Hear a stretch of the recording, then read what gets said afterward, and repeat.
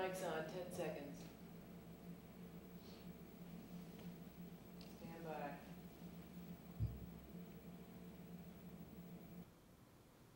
My fellow Americans, it's September, a time when our children once again return to school, bright with promise and eager for instruction.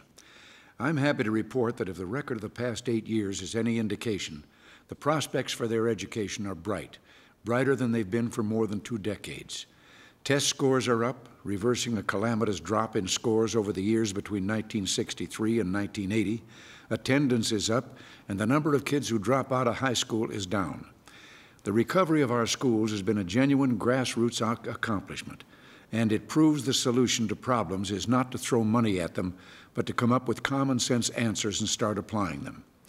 I'm proud that during our administration, George Bush and I have been there with a sympathetic ear and a helping hand, but we've only just begun. Far too many American students are graduating from school without the skills they will need to prosper and the knowledge they'll need to grow as adults. And no one knows this better than America's parents, who rose up at the beginning of the decade and said, Our children are not getting the education they want, need, and deserve. The education our children want is the ability to discover the answers to the basic questions we all have Who am I? Where do I live? And what is the world around me like? Children yearn to learn, and their capacity for it is one of the God given wonders.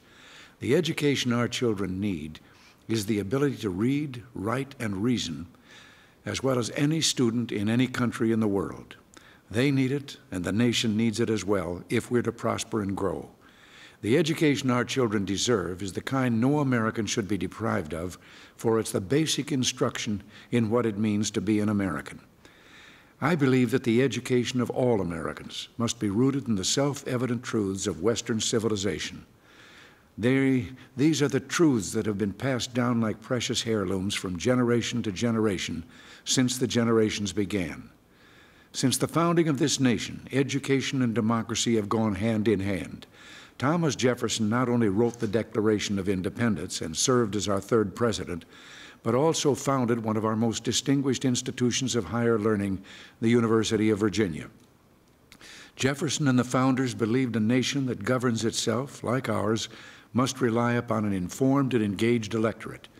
Their purpose was not only to teach all Americans how to read and write, but to instill the self evident truths that are the anchors of our political system.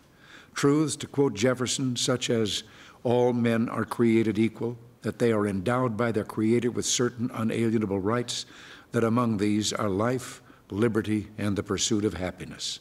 This is our precious heritage, and our political freedoms the freedom to speak, to practice our religions, to assemble peacefully, are the product of ideas that were born and nurtured in the great tradition of Western civilization. That tradition does not say some men have these rights, it says all men, everywhere on this earth, whether of Asian, Hispanic, or African descent, no matter what color, every American is the inheritor of our great cultural tradition. That's why I've supported and continue to support all efforts to teach our children about our culture, to read great texts and learn their lessons. Bill Bennett, our Secretary of Education, has just reported on the state of elementary education in our country. That report, entitled James Madison Elementary School, presents an outline for what every elementary school curriculum should include. It is suffused with the glory of Western civilization, and I salute it we owe our children no less than to instruct them in what Matthew Arnold called the best that has been known and said. And yet, just as forcefully, I want to say that this curriculum is only a guideline for school districts to follow if they think it right. The final arbiter of what a child should learn is not the state, but the family and the community in which the child lives.